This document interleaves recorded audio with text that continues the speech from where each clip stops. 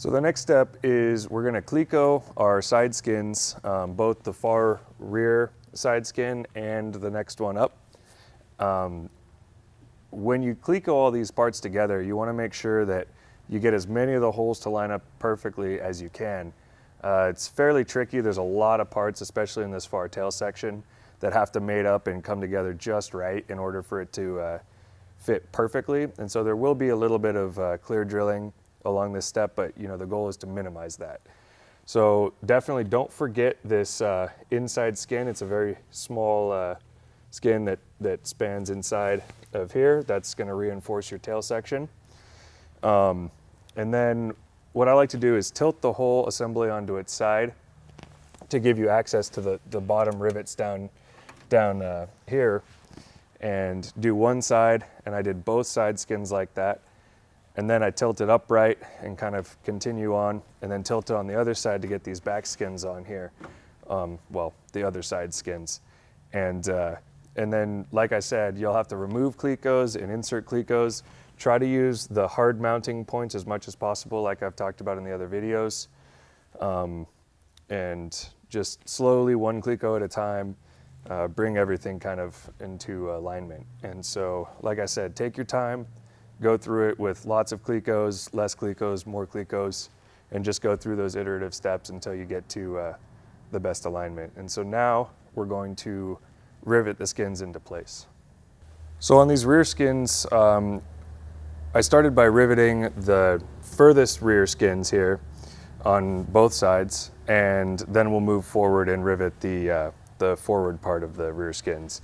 Uh, a couple things to make note of. Um, just like when you're clecoing, you want to start with the rivets that go into the more substantial structures. For example, this horizontal rib here um, is a substantial structure. This rib, also the, the longerons on the bottom, just everything that's kind of critical for alignment you'll want to do first. And anything that's slightly misaligned with uh, maybe some of the thinner ribs or uh, where a lot of things kind of made up and those tolerances stack up, uh, you'll need to clear drill those just slightly. But of course, you want everything to, the clear drill should just be a fraction of, you know, kind of just a deburring almost. So now that we've riveted all the, the furthest rear skins into place, we'll move forward and do the front ones. Um, also keep in mind, it's okay to rotate the entire assembly onto either side uh, just to make it easier to access whatever you're doing. Also pay close attention when you're working back here as well as moving forward that when you push the rivet through, you're not actually bending up one of the rib tabs. Uh, you want to make sure that the, the rivet is going through the skin and the tab on the rib and making a nice tight uh, closed connection on everything. So uh, let's move forward and get the, the other skins on. All right, now that we've got the rear side skins all riveted into place, uh, there's a couple things to keep in mind. We're not going to rivet any of these, the farthest aft row holes on either side of the tail here. Uh, those are going to have M4 bolts pass through to help uh, mount your vertical stabilizer later on. Um, also, of course, you don't rivet any of these top row of holes here. Um, you've got your longeron there, and none of these get riveted until your top skins go on. And lastly, don't rivet any of the furthest forward holes uh, anywhere the whole way around here. Um, on the bottom, there's two rows of, rows of holes that don't get riveted. Uh, the furthest forward, um, two rows of holes there. That's going to mate your center fuselage to your, your rear fuselage here. So, okay, so you may have noticed I proceeded to rivet the side skins onto the rear fuselage here before I ran the wire harness. Um, even though the manual does show the wires to be run first, uh, I personally think it's a little bit easier to get the structure of the ribs in place before you run the wires. You can do it either way, it's perfectly acceptable. Um, but as you can see here, on the left side of the fuselage, the right side of the screen, um, the top rib and the bottom rib, I ran the four core and the six core, which we're actually only going to use five of these wires for the trim servo and your tail strobe. And you just run them down your longerons and there's pre-punched holes that you can uh, fasten this stuff down with zip ties. Uh, you can, uh, as an alternative, use P clamps or Adel clamps here along the way, and you'll just need to um, find a way for this wire to go around or underneath through here. Uh, I find that this, using some of this wire jacket, keeps everything really well protected and really well nested through here. And so at this stage of the build, you're gonna have to have a very clear idea of your full uh, avionics setup that you plan to use. Uh, basically, if you're gonna use a nav antenna, you're gonna need to run a wire down for your nav antenna up on your tail back there. Um, in addition to that, uh, this particular build has a COM antenna that I've run down this longeron and up through rib four here and it's going to follow the longeron up and right here is where the COM antenna is going to rest uh, at the top there. Uh, if you plan to use a GPS antenna on top of your rear fuselage, um, that's an option and it's a good option. Uh, so you'll need to run a uh, coax cable for that as well and plan accordingly. Uh, once everything's closed up and finished, uh, you know, the more parts you get in here, the harder it is to go back and redo that. So you'll want to have that planned out ahead of time. So the next step is your rudder cables. And so the rudder cables are fairly straightforward. It all installs fairly easily. Um, as you can see, you get this box mounted in here, riveted into place. Then the only thing that you really need to make sure of here is that your cables do cross. So this is gonna be factory assembled, your, um, your plastic guides here. Here and here, as you can see, the rudder cables cross through this section here. And uh, it's very important that they do that, obviously, so you get correct rudder control. And you're just gonna rivet in your guides into place and go all the way through. Uh, one thing that I hold off on doing until a later step is, so you're not gonna tighten these down yet. Uh, you're not gonna tighten those down until final rigging. But uh, I leave these riv nuts off until the rear and the center fuselages are joined so that way you get a little bit more uh, rigidity on the final mounting location of this tab here, because as you can see, you can get a little bit of flex. So we're gonna wait to install these riv nuts until the two, uh, the rear and center fuselages are joined.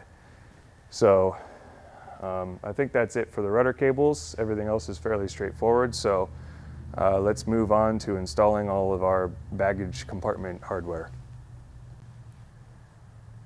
So you can see here I've actually uh, gone forward three or four pages in the assembly manual and actually only with Clecos assembled it all just to kind of get a, a general view of how things are going to fit together and this gives you a good opportunity to see basically which things need to be done first. The manual is in pretty good order, um, but there are some spaces where you'll notice by Clecoing it together here which holes are going to be obstructed by adding which components. And so now we're going to basically tear it down modularly and rivet them separately, just as the manual describes. So we'll do that now.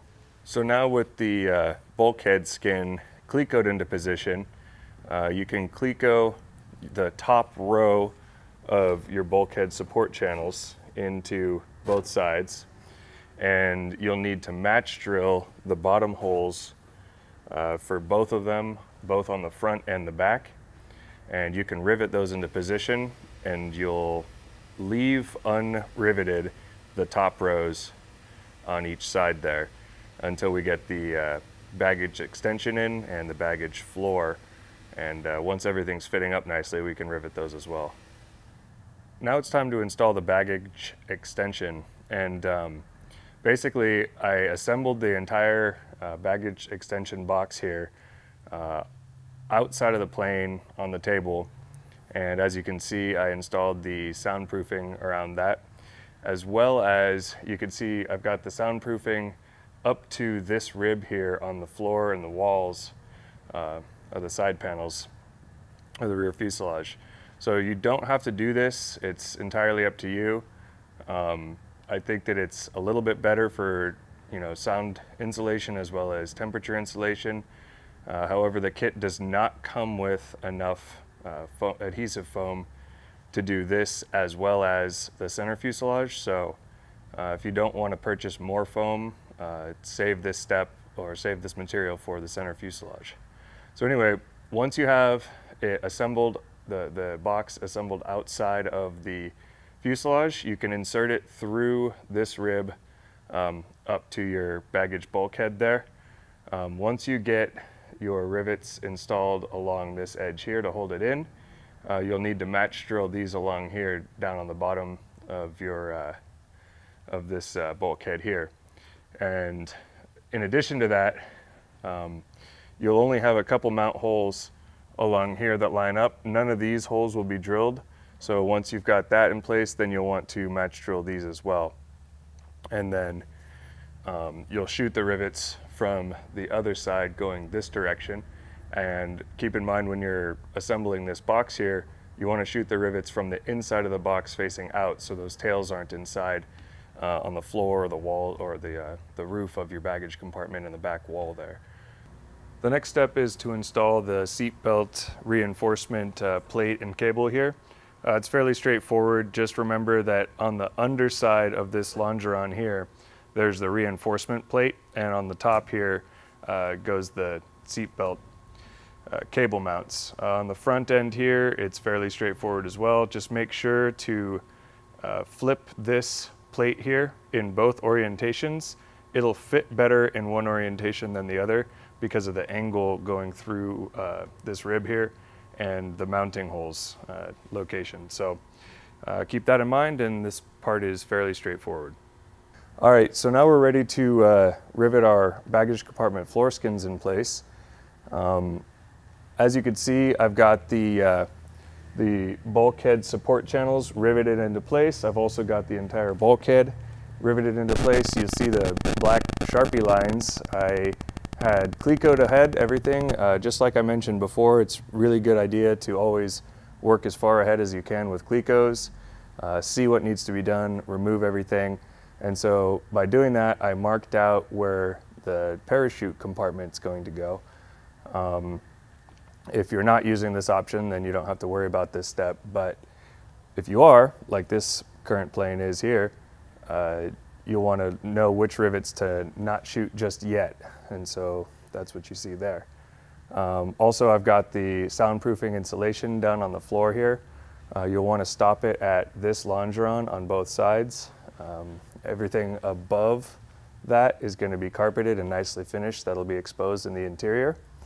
Um, so if you are going to put the soundproofing in this section of the plane, um, you'll want to do that now before we've got our floor skins in and it gets a little bit more closed off in there. So we're now ready to uh, move forward and rivet those in. In order to properly match drill your baggage floor support channel here, um, the instructions give you measurements from the edge of the, the skin here. Uh, I find the best way to do it is to rivet or cleco everything on your baggage floor into position so that it's nicely secured.